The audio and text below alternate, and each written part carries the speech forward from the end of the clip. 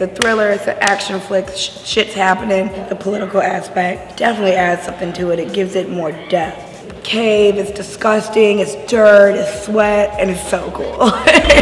The Prey.